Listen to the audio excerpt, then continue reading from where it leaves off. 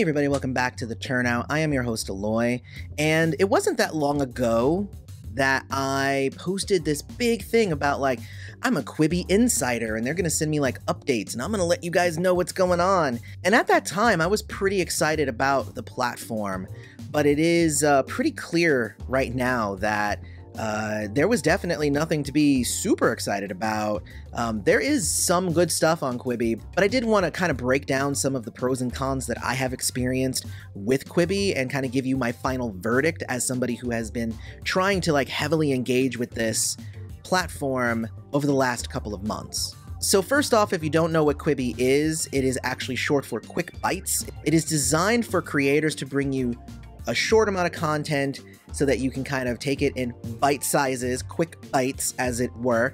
And the whole idea is that it is supposed to fill in the gaps in between when you are consuming bigger content. So the first thing I'll say, the first pro that I'll say is that the money that they spent in order to get these names attached to it, I think it helped with the publicity of the app as a whole. So having all of these big stars out there repping for you, I think it really did get more eyes on it than it would have had had they not spent a lot of money on these big names. And the second pro that I'm going to say is that not only are there big names, but some of the content itself is actually really, really good. I really enjoyed Flipped, which had Kaitlin Olson and Will Forte. Surprisingly, I didn't think I was going to like the Punk'd reboot with Chance the Rapper, but I kind of did. It was kind of really fun. I also very much liked the Sexology show, which was kind of like a sex expert, a sex therapist, kind of going through and asking uh, questions to normal people and answering questions that people have. Kind of like the thing that used to have Adam Carolla and Dr. Drew on it. Um, I'm trying to, a sex line, I think it was called.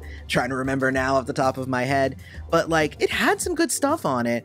Uh, the movies were less enjoyable. Uh, I guess let's get to that. Um, anything that was longer formatted being cut into like small little chunks, it, it honestly it messed with a lot of the flow. Uh, I found that it was more disorienting than anything. It, it would be like, oh, I watched eight minutes of this movie, and now I have to wait till tomorrow to come back for the other eight minutes and then eight minutes and then eight minutes and eight minutes and um, i started to get frustrated. I started a couple of movies that i didn't finish. Like it, it's pretty frustrating. There's going to be a bunch of cons by the way. What i noticed is that it made it frustrating to watch longer content but even shorter content felt long i guess is weird to say for instance flipped which was actually i think my favorite on the quibi platform you know it's a comedy uh, you get them in like 10 minute bites, which is exactly what the platform is supposed to be. And each of the episodes is actually pretty well paced and everything. However, I found that watching this 10 minute clip, it felt like watching 30 minutes. And there's a big reason for that.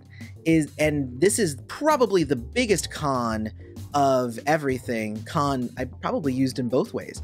The entirety of the, the entirety of the app, Quibi, is designed to be used on a mobile device, meaning you cannot use it any other way. It won't let you use it any other way, which means while you're watching a show, you can't do all of the things that you would normally do during a show. Like i check my email and you know i check into social media. I might you know research something. Oh will forte. Oh that's kind of interesting. Let me see what he's doing you know recently while i'm watching the show.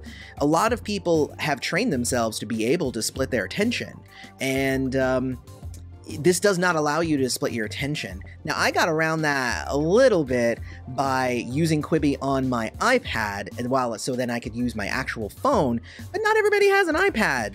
Uh, it's it's a really crappy way to do it. I tried to AirPlay it to my TV. I tried so many different things that I could do, but the only way to watch it was either on my phone or on my iPad, and uh, that is crappy. Like, stop it. One thing, too, that I thought was going to be interesting was that it was going to kind of open up a new style of direction and it was going to make it was going to make these creators and directors of these TV shows and movies uh, be more cognizant about the platform that they were creating for. And with some of like the shows, you could see that that was kind of like they definitely did. They would have, if you turned your phone this way, it would split screen it. If you turned it long ways, it would show it to you regular, but also might split screen at times.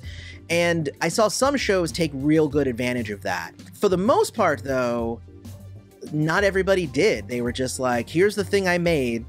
Um, when you turn it, if it's meant to be watched this way, if you turn it this way, just zoom into part of it. And you end up losing contextual clues and things on the sides. There were a lot of really crazy like camera angles and cuts and, and side by sides in a lot of the shows that I was watching. And it and honestly, that part made it so that not only did I need to watch it on my iPad, but I needed to watch it on my iPad long ways uh, so that I could see everything. I think Flipped, again, it's so weird that I keep going back to Flipped, but I feel like Flipped did the best with the portrait way of watching it where they would they actually did try to do lots of creative cuts and whatnot it wasn't just focusing on a certain spot and they used that for comedy which i kind of dug so i ended up watching a lot of that show portrait style because i actually felt like watching it landscape uh, took away some of the fun cuts that they were using, but almost no other show or movie tried to utilize the platform the way that it was intended to be done.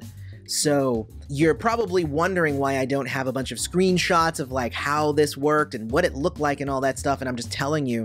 And honestly, it's because I did not renew and uh, I don't plan on really engaging with uh, Quibi anymore. It was a major letdown and I'm definitely not the kind of person who's just like, oh, another streaming service, who needs that? Like, I'll give anything a shot because if it will add value to my life, then I'm all for it. Uh, Quibi, uh, I would say, actually takes away from my life. so I went and I watched a few of the things that I liked. And uh, when I was done, I really I had no urge to go back. Uh, and this is in the age of like HBO Max just came out and you know all the apple tv plus and everything is out there disney plus. And there's so many other platforms that are out there now that i don't know how quibi was going to succeed uh, unless everybody was on board 100%. If every show and movie could have been handled the same way that Flipped was, essentially. Because Flipped was awesome, and if you get the chance to watch it, it was a lot of fun. Even though it felt so much longer than it was, I don't know, it was just weird. But I really love, I loved all of the performances on that show. I would say for the rest of it, I wouldn't even say take or leave. I would say leave. I would say don't get Quibi. and it sucks because again, I was super excited and I was hoping that like updates and stuff like they like I signed up to be an insider and they didn't even send me insider stuff. Like I was like, "Oh, I'm going to come back and I'm going to like let you guys know what's going on." And like I never really got anything. I didn't get any like special previews or any special anything. So like what was the point of being an insider so that I could just say that I was? I mean, I guess that's like clout attached to it.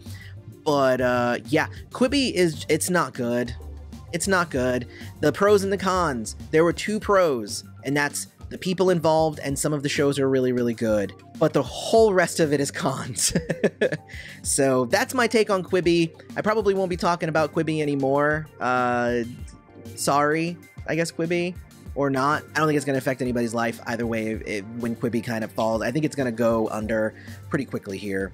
But I want to know what you guys thought. If you guys have tried Quibi, let me know if your ideas and thoughts about it line up with mine.